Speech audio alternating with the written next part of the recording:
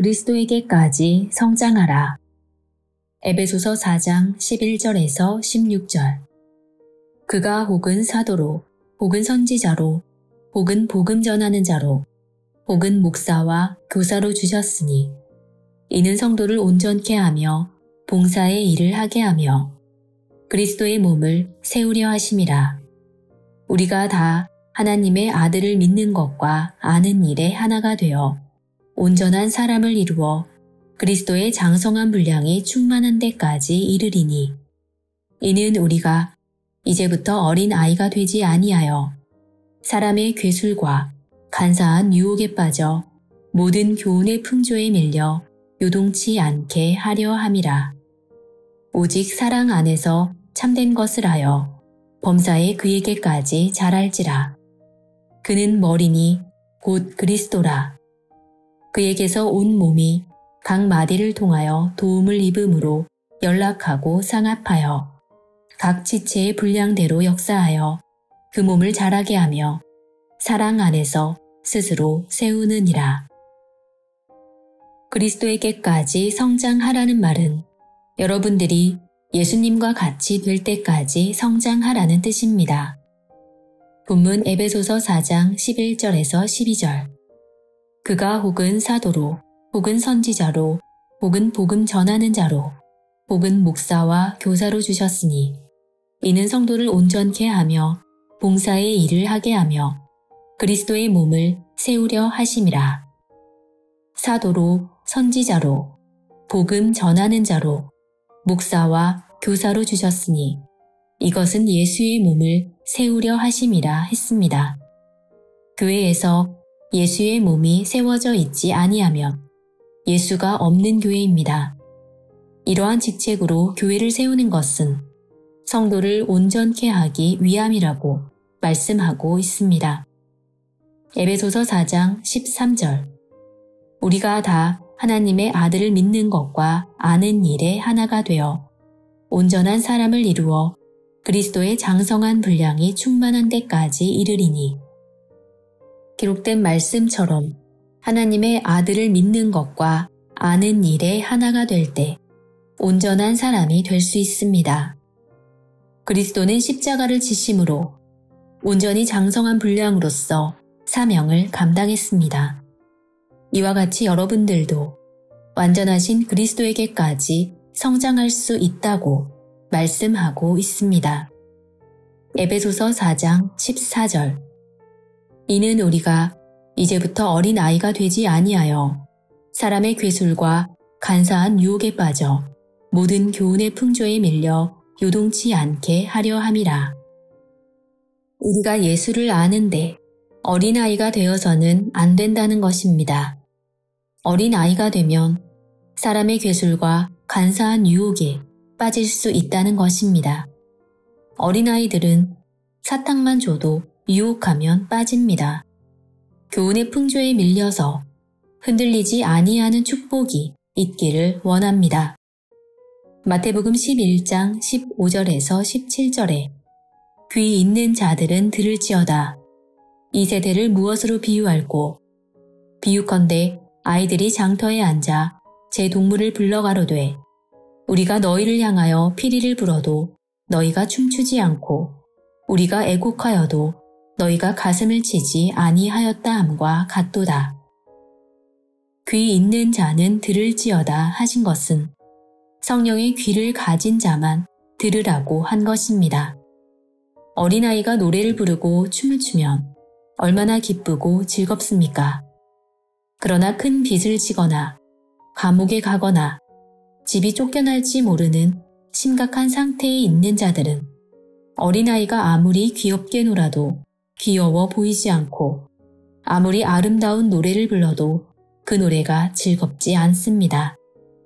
어린아이가 울어도 가슴을 치지 아니하는 그런 세상이 되었습니다. 마태복음 18장 1절에서 3절 그때의 제자들이 예수께 나와 가로되 천국에서는 누가 크니이까 예수께서 한 어린 아이를 불러 저희 가운데 세우시고 가라사대 진실로 너희에게 이르노니 너희가 돌이켜 어린 아이들과 같이 되지 아니하면 결단코 천국에 들어가지 못하리라. 천국에서 누가 크냐고 물어보니 어린 아이와 같이 되지 아니하면 결단코 천국에 들어가지 못하리라고 했습니다. 어린 아이는 화가 나서 싸우고 할퀴었어도 조금 있다 보면 다시 친하게 지냅니다.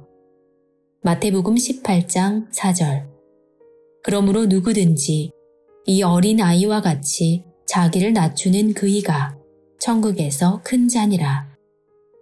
기록된 말씀대로 나이가 많거나 적거나 성경의 지식이 많거나 적거나 어린아이와 같이 자기를 낮추는 자가 천국에서 큰 자입니다. 자기를 낮춰야 합니다. 자기를 낮추는 방법은 상대방을 많이 칭찬해 주는 것입니다. 진정으로 천국 가기를 원한다면 내가 교회에서 받은 큰 직분이 있다고 자랑하지 말고 교만하지 말고 자기를 낮추는 자가 되기를 원합니다. 낮추면 화목하게 되며 서로 사랑하게 되고 서로 협력하게 됩니다. 마음을 낮추기를 원합니다. 낮추는 자가 천국에서 큰 자라고 했습니다. 마태복음 18장 5절 또 누구든지 내 이름으로 이런 어린아이 하나를 영접하면 곧 나를 영접함이니 어린아이를 영접하는 그 마음은 예수를 영접하는 것입니다. 교회 나온 지 오래됐어도 어린아이 같은 신앙을 가진 사람이 있습니다. 말 한마디에 마음이 상해하고 화를 내는 사람은 아직 어린아이입니다. 남을 널리 용서해 줄 줄 아는 그런 마음가짐을 가져야 합니다. 마태복음 19장 14절 예수께서 가라사대 어린아이들을 용납하고 내게 우는 것을 금하지 말라. 천국은 이런 자의 것이니라 하시고 어린아이들을 많이 좋아하는 사람은 마음이 착하고 좋은 분입니다. 어린아이들을 좋아하는 사람이 지도자가 되는 것입니다. 교회에서도 마치 어린 아이와 같이 순진하고 순박한 분들, 어른 아이 가리지 않고 좋아하는 분들이 천국 갈 수 있는 사람입니다. 이는 심성이 어린아이와 같은 사람이 되어야 한다는 것입니다. 그러나 어린아이와 같이 무식하고 무지해서는 안 됩니다. 고린도전서 14장 20절 형제들아 지혜에는 아이가 되지 말고 악에는 어린 아이가 되라. 지혜에 장성한 사람이 되라. 이처럼 지혜에는 어린아이가 되지 말고 악에는 어린아이가 되라 했습니다. 악에는 어린아이가 되고 지혜에는 장성한 사람이 되기를 원합니다. 마태복음 21장 16절 예수께 말하되 저희의 하는 말을 듣느뇨. 예수께서 가라사대 그렇다 어린 아기와 젖먹이들의 입에서 나오는 찬미를 온전케 하셨나이다 함을 너희가 읽어본 일이 없느냐 하시고 어린 아기와 젖먹이는 자들이 무슨 찬미를 하겠습니까? 실상적인 어린 아기를 말하는 것이 아닙니다. 어른이면서 어린 아이와 같이 순박하고 순진한 어린아이들 또는 순진한 사람, 철이 없는 것 같지만 순진하고 진실한 그런 사람의 찬미를 하나님께서 들어주신다는 말씀인 것을 깨우침 받기 원합니다. 에베소서 4장 14절 이는 우리가 이제부터 어린 아이가 되지 아니하여 사람의 괴술과 간사한 유혹에 빠져 모든 교훈의 풍조에 밀려 요동치 않게 하려 함이라. 어린 아이는 간사한 유혹에 빠질 수 있습니다. 하나님을 믿고 예수를 믿으면서 간사한 유혹에 빠지면 안 됩니다. 심성은 어린 아이와 같되 깨닫고 하는 행위는 어린 아이와 같이 되지 말라는 말씀입니다. 에베소서 4장 15절 오직 사랑 안에서 참된 것을 하여 범사에 그에게까지 잘할지라. 그는 머리니 곧 그리스도라. 모든 일에 그리스도에게까지 여러분이 자랄 수 있는 줄로 믿습니다. 어린아이 행위를 벗어나서 장성한 사람이 되기를 원합니다. 고린도전서 13장 11절 내가 어렸을 때에는 말하는 것이 어린아이와 같고 깨닫는 것이 어린아이와 같고 생각하는 것이 어린아이와 같다가 장성한 사람이 되어서는 어린아이의 일을 버렸노라. 장성한 자가 되면 어린아이의 일을 버려야 합니다. 아직까지 어린아이 일을 해서는 안 됩니다. 지혜롭고 슬기 있는 지도자다운 말을 해야 할 줄 믿습니다. 십자가에 달린 후 부활하신 예수님이 디베랴 바닷가에서 고기 잡는 제자들을 보았습니다. 제자들이 나이가 30이 넘고 신체 건장한 사람이었는데 예수님은 얘들아 거기 고기가 있느냐 라고 말씀하셨습니다. 요한복음 21장 4절에서 5절 날이 새어갈 때에 예수께서 바닷가에 서셨으나 제자들이 예수인 줄 알지 못하는지라 예수께서 이르시되 얘들아 너희에게 고기가 있느냐 대답하되 없나이다. 예수님께서 얼마나 사랑하시면 얘들아 하셨겠습니까? 부모는 자식이 아무리 나이가 많아도 아이로 보이는 것입니다. 예수님은 제자들을 아이와 같이 본 것입니다. 또한 제자들은 순진하고 순박했습니다. 이와 같이 예수님께서 제자들을 순진하고 어린 아이와 같이 대해 주셨다는 것은 그 심성이 어린아이 같았기 때문에 얘들아 하고 부르신 것입니다. 여러분들도 심성은 어린 아이와 같고 말씀을 깨닫는 행위는 장성한 자가 되어야 할 줄 믿습니다. 히브리서 5장 12절 때가 오래므로 너희가 마땅히 선생이 될 터인데 너희가 다시 하나님의 말씀의 초보가 무엇인지 누구에게 가르침을 받아야 할 것이니 젖이나 먹고 단단한 식물을 못 먹을 자가 되었도다.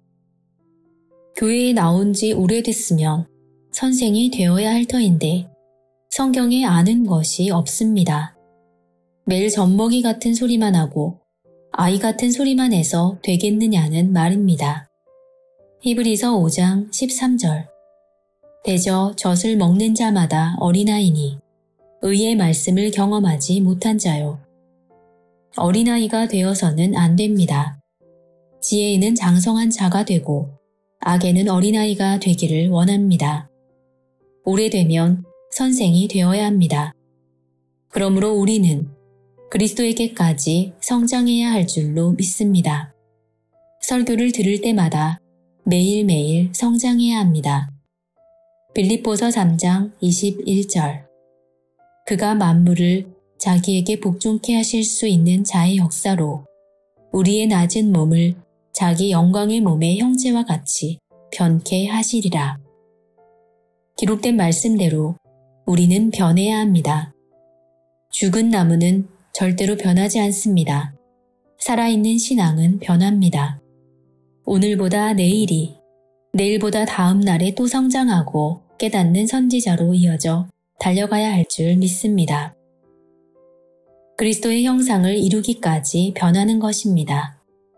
예쁘게 성장하고 잘 자라는 어린아이들을 보면서 내 육체는 이렇게 커서 어른이 되었지만 내 영혼이 성장했는가를 다시 반성해 보면서 그리스도에게까지 자라는 귀한 자들로 축복되시길 예수님의 이름으로 축원합니다.